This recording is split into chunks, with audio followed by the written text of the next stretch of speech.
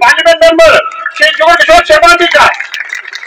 जिन्होंने हमें छोट कालाकोट और सात करोड़ से लागत की बनने वाली रोड जो हमें दी।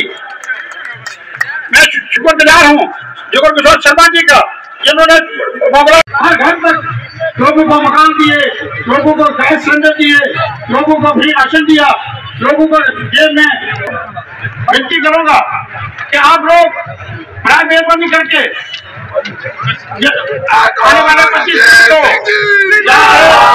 अपना वोट डाल के, ताकि हम यहाँ पे लगभग लगभग पच्चीस साल से ज़्यादा पचहत्तर साल होने वाले थे।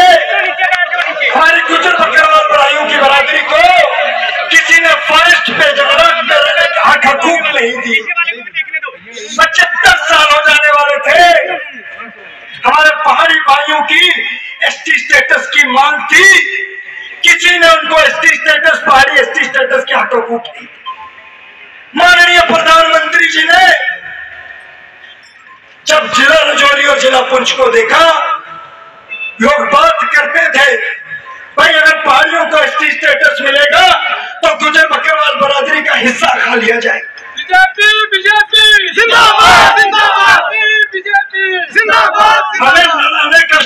षड्यंत्र किया गया।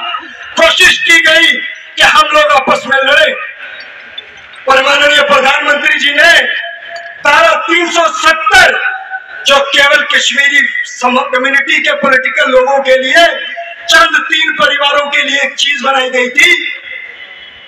जब उसको माननीय प्रधानमंत्री जी ने, माननीय प्रधानमंत्री जी के कैबिनेट ने, माननीय डॉक्टर साहब ने, माननीय सांसद साहब ने, जब उसको रद्द किया तो क्या हुआ? वो जो बक्सा जो बंद था वो खुला तो क्या हुआ? बक्से से मिली गुजर बकरवाल भाइयों को forest right act. Bharatiya Janata party! जब वो बक्सा खुला और गुजर बकरवाल भाइयों को मिली 10 परसेंट की पॉलिटिकल रिजर्वेशन जब वो बक्सा खुला तो गुजर बकरवाल भाई जो यहाँ से कश्मीर जाया करते थे कोई उनको नहीं पूछता था आज उन्हें ले जाने के लिए गाड़ियाँ लगी पहाड़ी समाज जिसको कोई उम्मीद ही नहीं थी। माननीय प्राइम मिनिस्टर साहब ने उनको अलग से 10 परसेंट की पोलिटिकल रिजर्वेशन